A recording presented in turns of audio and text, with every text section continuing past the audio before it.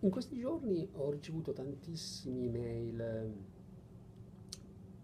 di persone che mi chiedevano informazioni su varie diete, vari trends che stanno più o meno spopolando in questi ultimi mesi, direi, ultimi anni in Italia. Eh, siccome non, non ho il tempo di rispondere ad ognuno singolarmente, ho deciso fondamentalmente di eh, raccontarvi il mio punto di vista. Quindi premetto che questo è il mio punto di vista questi, su queste tematiche. Allora, la domanda più frequente è cosa ne penso eh, del digiuno prolungato, della dieta mia digiuno. Il mio pensiero è fondamentalmente che i dati sperimentali nell'animale sono molto interessanti, ma che i dati nell'uomo non ci sono. Sono troppo preliminari e è assolutamente necessario fare degli studi ben fatti, seri, da diversi gruppi indipendenti, quindi non da un unico gruppo, potrebbe avere dei conflitti di interesse, ma da, da diversi gruppi indipendenti, questo è il metodo scientifico, diversi gruppi di ricerca confermano la bontà dei dati sperimentali sul modello animale facendo degli studi clinici randomizzati ben condotti nell'uomo. Fin tanto che non abbiamo questi dati, assolutamente non mi sento di esprimere un giudizio e di raccomandare eh, nessun tipo di dieta, né questa né un'altra. L'altra cosa che mi sento di dire è che il digiuno è gratis e quindi fondamentalmente se e quando dimostreremo che un digiuno prolungato, quindi 5, 6, 7 giorni, che in linea di principio potrebbe avere un senso, pensiamo, cioè quando nel, nel, nel, nel modello sperimentale attiviamo col digiuno queste vie di segnale, questa FOXO pathway, questo gene, questo transcriptional factor che praticamente si lega sul DNA, quello che facciamo è attiviamo diverse pathways, come ho spiegato nel libro. Una è l'autofagia, cioè la cellula percepisce che non c'è abbastanza eh, nutrimento all'interno della cellula, quindi cosa fa?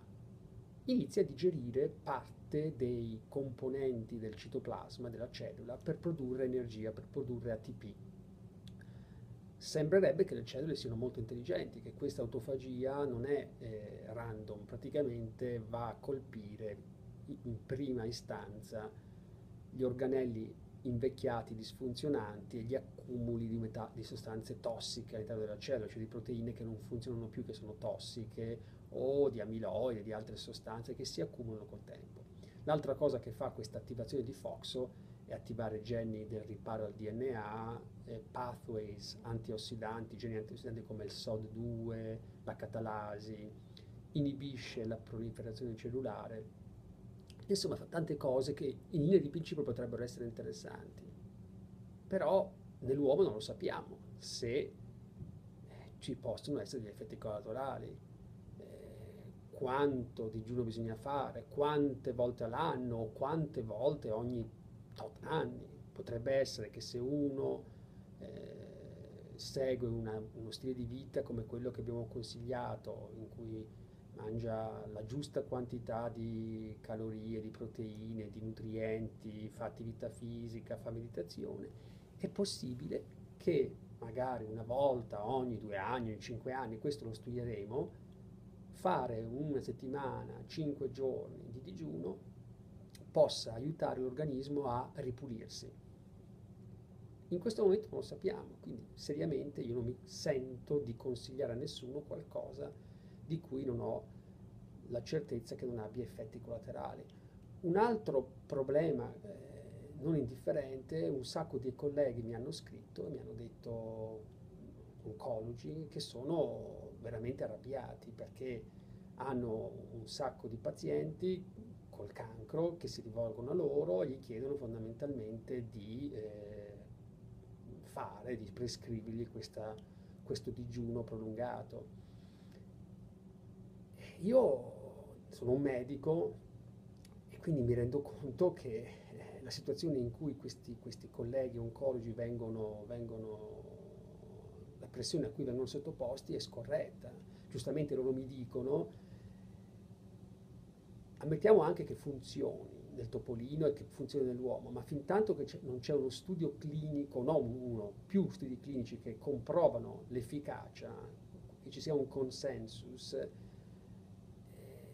se io prescrivo questa, eh, questo digiuno in associazione alla chemioterapia e poi un paziente muore o ha delle complicanze gravi, i parenti o lui stesso potrebbero denunciarmi e sicuramente un giudice mi incolperebbe e io dovrei pagare, magari civilmente o penalmente, per qualcosa che mi è stato imposto ma che non è stato convalidato scientificamente nell'uomo. Quindi è una situazione molto delicata, difficile.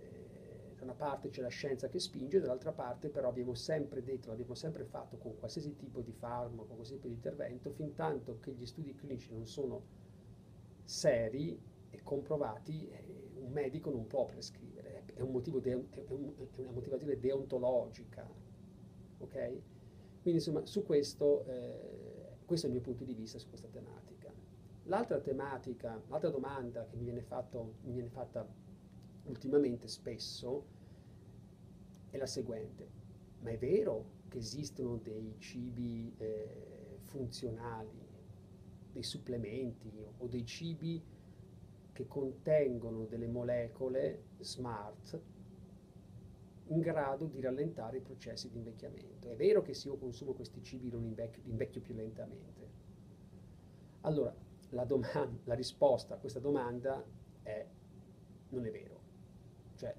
Non c'è nessuna evidenza scientifica seria, degli studi fatti bene, che dimostrino questo fatto.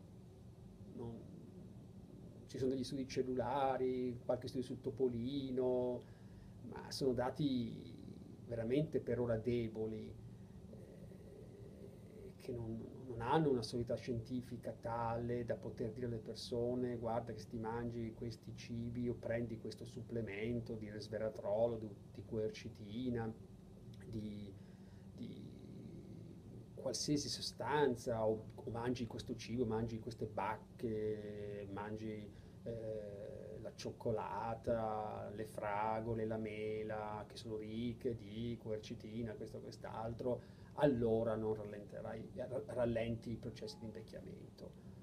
Non, sono, non, c'è evidenza scientifica, quindi dirlo secondo me è scorretto. Ehm, tant'è vero che molti studi che nei modelli animali, prendiamo il resveratrolo, nel modello animale Nature eh, rallenta l'invecchiamento, i topolini diventano, corrono più, più a lungo, c'è un, quindi un aumento dei mitocondri, eh, sparisce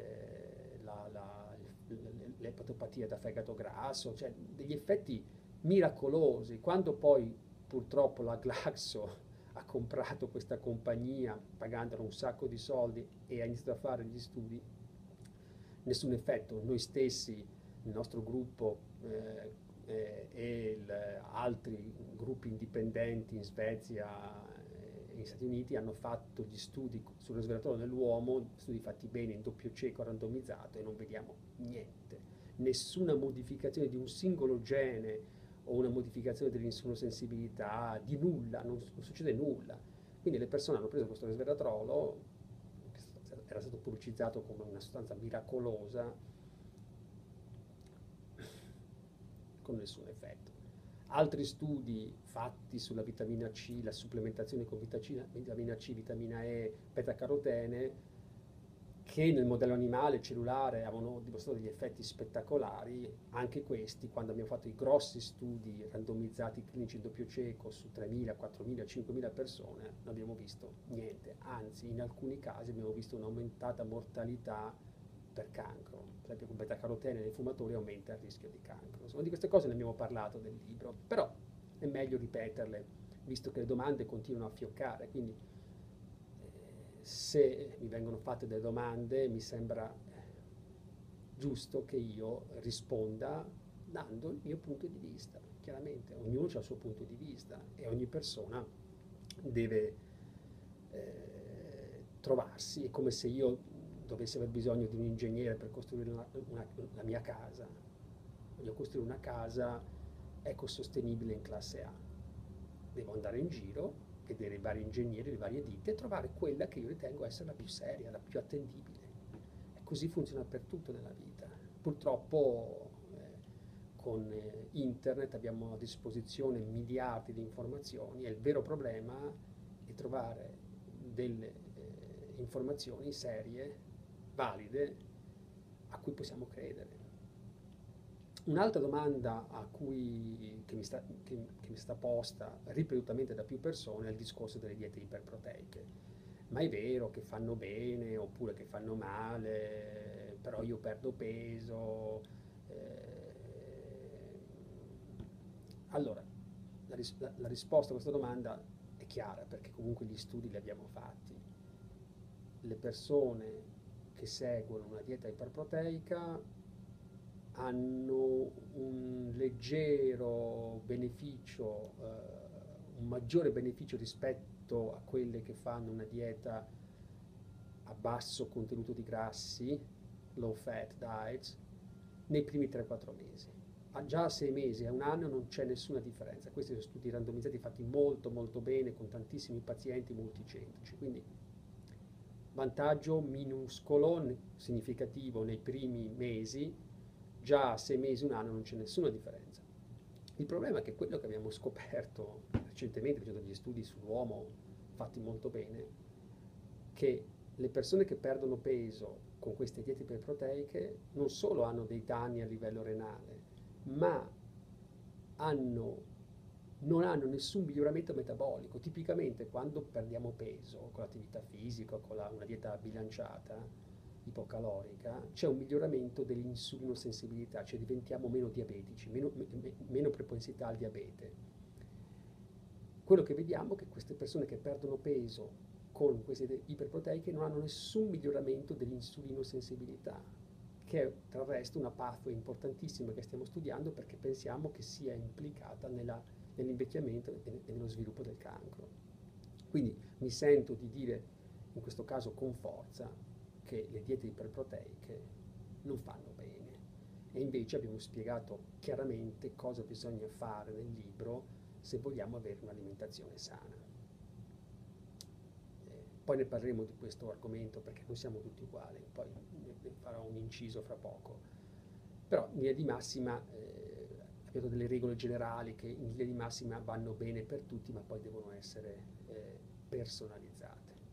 Ultimo, ultima domanda che sto ricevendo è il discorso di alcune affermazioni che vengono fatte sulla presunta velenosità di alcuni cibi è stato chiesto da un sacco di persone, di amici, ma è vero che le farine 00 sono velenose? Ma tu cosa ne pensi?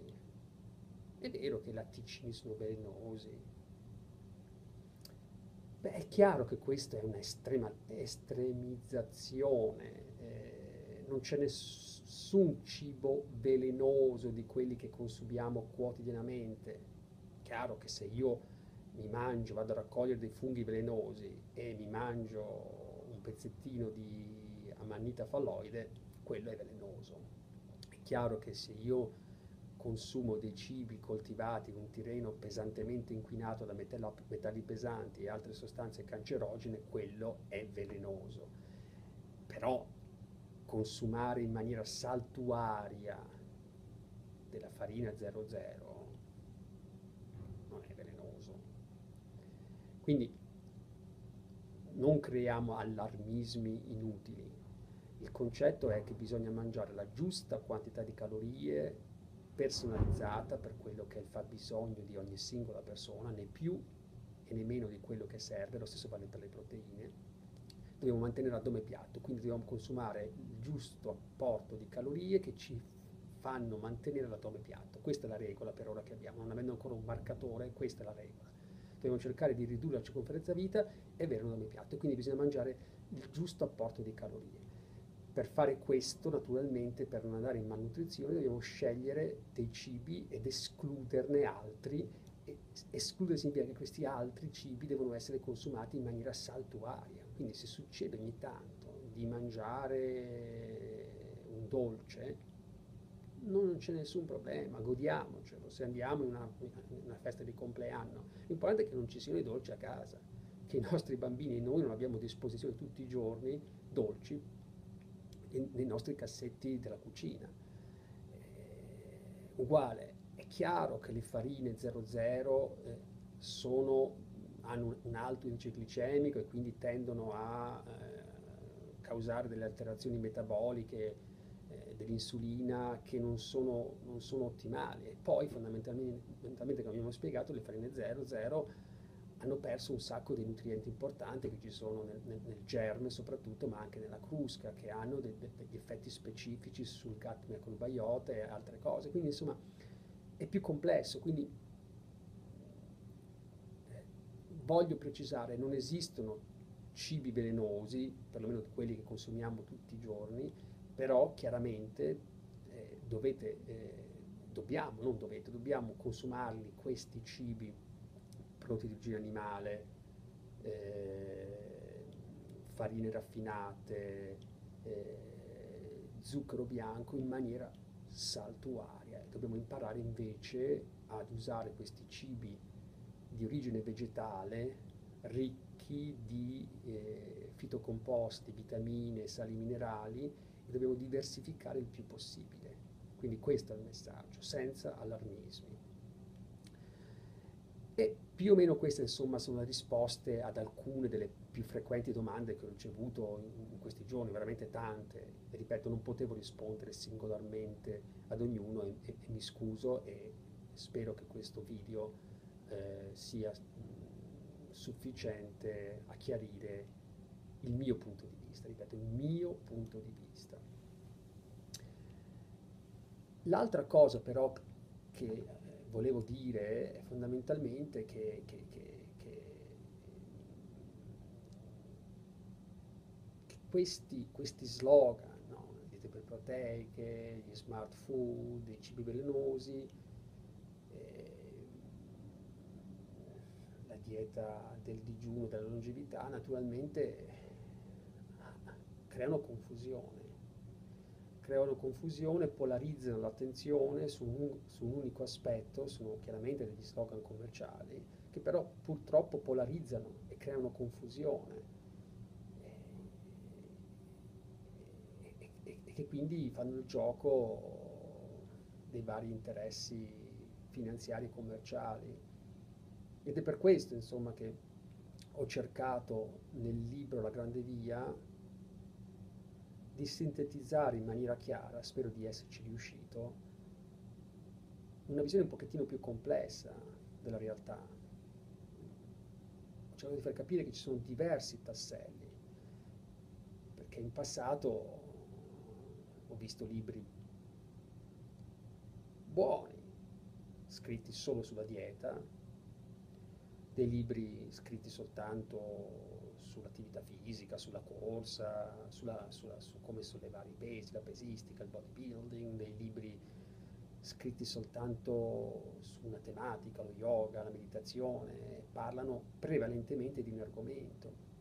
Quello che ho cercato fa, di, di fare in, per la prima volta in questo libro è invece di far capire che la realtà è complessa, che ci sono tanti tasselli che messi insieme collaborano, contribuiscono a eh, produrre salute, longevità e sviluppo psicologico interiore, sviluppare la, la, la, le nostre capacità creative, emotive, intuitive e in ultima analisi eh, felicità.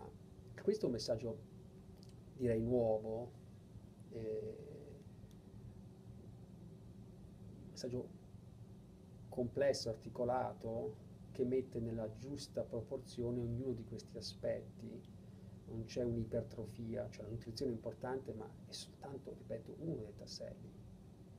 Eh, spesso si parla solo di nutrizione o si parla solo di attività fisica, invece tutti insieme collaborano per eh, fornire il risultato che è quello di una vita sana, felice, lunga e longeva. E infatti eh, nel libro ho voluto sottolineare che, che non esistono scorciatoie. Questo è stato uno dei messaggi più chiari, penso, perché quello che ho raccontato nel libro sono le mie esperienze, i miei 30 anni di studi medici, di studi da scienziato. Ho cercato di raccontare non solo i miei studi, ma anche quelli eh, di altri colleghi che stimo, che ammiro, che, che ritengo essere sulla giusta strada. E poi ho raccontato una parte personale, molto personale, ma mi sentivo di, di, farlo perché altrimenti il messaggio era troppo limitato, se avessi parlato soltanto di, di, nutrizione e attività fisica, ho parlato de, della, della componente meditativa, filosofica, spirituale della vita, che è importantissima. Poi magari ne parleremo un'altra volta di quali sono le implicazioni non soltanto per lo sviluppo spirituale, individuale del, della persona, ma anche le implicazioni che questo ha sul, sul nostro successo lavorativo, cioè per quello che siamo, quello che siamo dentro, influenza la nostra relazione con gli altri, quindi come noi riusciamo a essere incisivi avere successo in quello che facciamo nella vita e nel nostro lavoro però questa è una tematica complessa di cui magari parleremo più avanti se avrò tempo. E la cosa fondamentalmente che ci tengo a dire è che non esistono scorciatoie, che il percorso eh, che porta alla salute, alla longevità e alla felicità è un percorso difficile, lungo, è una ricerca che dura un'intera vita, non è un qualcosetta che si può imparare così. Come, a volte rimango stupito quando, perché è come se qualcuno vi dicesse che eh, allenandosi un paio di volte al mese ritiene di poter andare a prepararsi per competere alle Olimpiadi. Oppure è come se qualcuno vi dicesse che strimpellando il pianoforte mezz'ora, una volta a settimana si sta preparando per eh, vincere il premio Chopin, la competizione inter- internazionale per i migliori pianisti eh, in onore di Chopin. E mille altri esempi, insomma, è chiaro che una cosa così complessa come la salute e la longevità richiede un impegno, la disciplina, conoscenza, eh, provare, sbagliare, progredire, e richiede anche una forza di volontà. E, e quindi insomma riflettiamo, riflettiamo su queste cose e spero che il libro sia fonte di riflessione. L'ultima cosa di cui volevo parlarvi in questo video, eh, tornando sempre al discorso della, delle domande che mi sono state poste, è quello sul fatto che non siamo tutti uguali e che quindi se in linea di principio anche le cose che abbiamo scritto nel libro possono essere la base di un cambiamento dello stile di vita, poi naturalmente questo deve essere personalizzato. Faccio un esempio. In questi giorni stiamo analizzando i dati di uno studio sul digiuno che eh, abbiamo condotto negli ultimi due anni. In questo studio abbiamo randomizzato delle persone al digiuno o il gruppo di intervento di controllo, persone che venivano scelte eh, per fare digiuno random devono fare un digiuno di, eh, a base di vegetali, quindi non di solo acqua, 24 ore, due o tre volte alla settimana, due o tre volte, no, giorni non consecutivi. Potevano mangiare verdure cotte e crude a volontà, condite con un cucchiaio d'olio d'oliva, basta. E gli altri giorni però potevano mangiare quello che volevano. In questa maniera non dovevano contare le calorie. Allora, cosa abbiamo visto? Veniamo al punto. Abbiamo visto che una parte di queste persone hanno perso parecchio peso, alcune addirittura hanno perso 20 kg in sei mesi, digiunando due, tre volte a settimana. Fantastico. Un altro gruppo invece ha perso poco peso, ma un altro ancora, questo è stato veramente interessante, pur avendo perso peso, non ha avuto un miglioramento del profilo metabolico, anzi ha avuto un leggero peggioramento. Stiamo ancora cercando di capire, stiamo ancora analizzando i dati per capire qual è il fattore che in queste persone ha fatto sì che pur perdendo peso non c'è stato un miglioramento del profilo metabolico, ma anzi un lieve peggioramento. Non sappiamo ancora, quindi non ho ancora una risposta, però il messaggio che volevo darvi è questo, che non siamo tutti uguali, che quindi eh, dobbiamo personalizzare gli interventi e capire qual è la nostra reazione del nostro organismo, però degli interventi seri che abbiano un, un substrato scientifico. È chiaro, è difficile fare questo e probabilmente bisogna farsi seguire da medici, e, e ripeto, da dei medici che abbiano una profonda conoscenza del metabolismo, delle patologie, di come funziona l'organismo dal punto di vista eh, clinico, che però siano anche preparati in questo tema siano capaci di capire, che conoscano bene la nutrizione, la nutrizione con la N maiuscola, che conoscano i meccanismi delle patologie, soprattutto dell'invecchiamento, della salute, cioè quali sono i fattori che servono per mantenere un corpo in salute, per prevenire le patologie.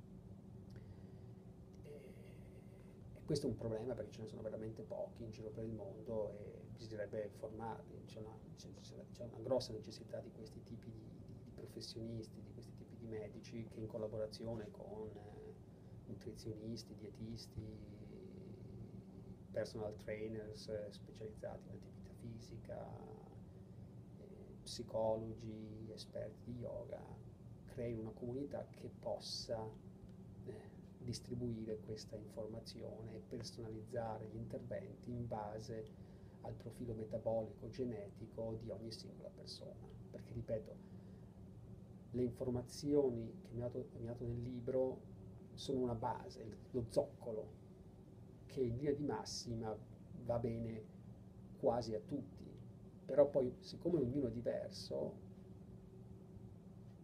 ci, ci dovremmo personalizzare l'altra parte dell'intervento per renderlo più efficace, per evitare che ci siano invece dei potenziali problemi perché magari stiamo esagerando con la restrizione calorica o stiamo dando più calorie o proteine di quelle che servono e tanti mille altri esempi di cui insomma non ho il tempo di parlare in questa, in questa presentazione.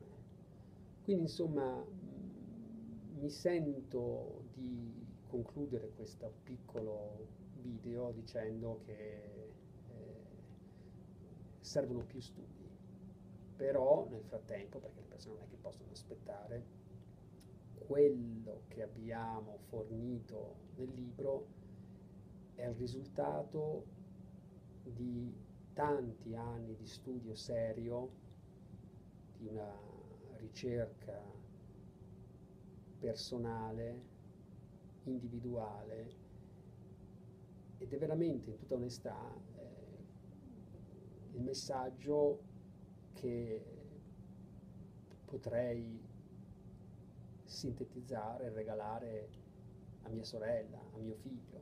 Cioè quello che, quello che ho scritto in questo libro è fondamentalmente il risultato, la sintesi delle conoscenze che ho acquisito negli ultimi 30 anni e che ho pensato fosse giusto a questo punto della mia carriera cercare di mettere su carta, sintetizzare come primo libro, poi naturalmente da qui ci sono altri concetti, eh. ognuna di queste tematiche può essere espansa moltissimo ognuno di questi temi, però in questo libro non mi sentivo di espandere in maniera eccessiva una parte a favore dell'altra perché non era corretto, non era bilanciato. E quindi ho cercato di mantenere un equilibrio tra le, tra le diverse componenti eh, per dare una visione equilibrata, armonica della, della complessità, ma anche della bellezza eh, di queste tematiche che sono così, così centrali per la salute e la vita di ogni essere umano e soprattutto per la salute dell'ambiente.